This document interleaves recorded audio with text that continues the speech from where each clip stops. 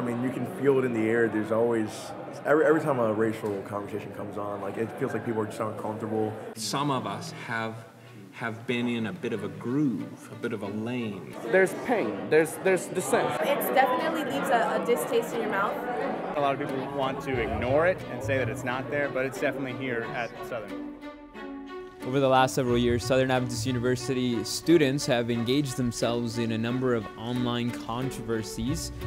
It seems like last year the university had enough, and the university president, Dave Smith, created a video apologizing to some of the issues that students of color have faced on this campus. And this year, a group of people who lead an organization called Against the Wall are coming to this campus and partnering with the campus ministries department and some of the university leadership to host a series of conversations and messages on the topics of racism in the Seventh day Adventist Church, and in particular on this university.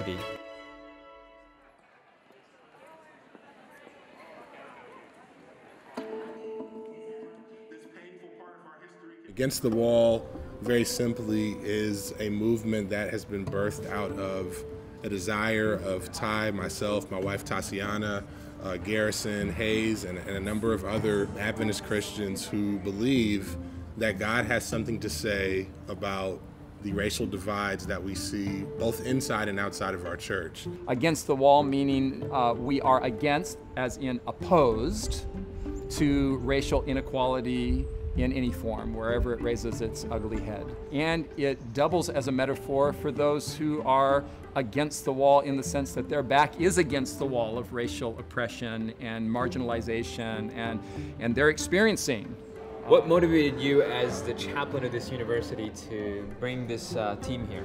I think it's helpful to have a team of people who are so well educated and versed in some of the terminology and in some of the conversations, the professionals or the specialists, as it were, to come and to educate some of us who um, aren't caught up on everything we need to be caught up on is so beneficial to our campus. It's so beneficial to me as a chaplain.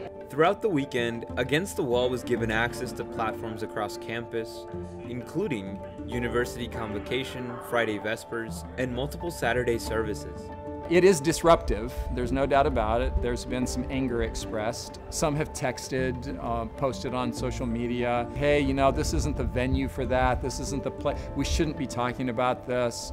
When you come out of it, talk about it, express yourself, and you're kind of angry still, it, it can kind of push people away, you know? Just because you have not experienced the reality of other people does not mean that their reality is not valid and is not real. Unresolved shame has to have a target for enmity, for hostility. And she clearly saw this work not as a political initiative or a social justice issue. She saw it as a mandate from God. A lot of times people get up front and say there's racism, and a lot of people don't want to believe that. But as soon as you show it in the Bible, hey, look, there's racism, and the Bible says don't do that, it, it drives it home for me a lot more like, oh, I need to make reparations, I need to apologize. But if I'm not like actively helping them and like seeing the issues that they face and not trying to help them like through those things, then do I really, you know, love them? One young lady said, I really appreciate the renewed perspective on the love of God, not only for me, but his call for me to also love others and reconcile myself first to him and then reconcile myself elsewhere. As the capstone event Saturday afternoon, the Agora provided a space for conservative and progressive speakers to share their viewpoints and seek common ground. I thought it was an amazing experience. Um, I think it is long overdue for our church to deal with these issues. Even people who might have gotten up to the mic and we might have expected something um, more extreme or, or, or, more heated emotion, I felt like it was it was done well. So I, I was impressed overall. I thought it was a very productive event. Against the Wall at Southern Adventist University seems to have successfully communicated a biblical case for racial reconciliation.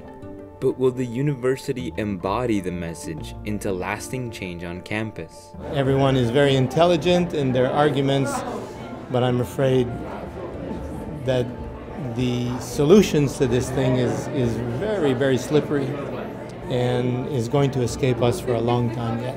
And I hope it continues. That's the one thing I think Southern can do is to foster the environment for those conversations to continue. I feel like sometimes we have these conversations, and instead of coming together, we create even a bigger divide. And that's kind of like I felt tonight. I was like, did, what did we accomplish? We sat here for two hours. Did we really get anywhere? I feel like Against the Wall was able to come into uh, the campus and continue some growth, but I'm afraid that after this weekend, we've come to this conclusion that no, we need to do something, but we don't actually do something. We don't start a process. We don't come up with a plan. And six months, two school years from now, whatever it is, we are looking at a campus that is maybe worse off after Against the Wall than it was before Against the Wall.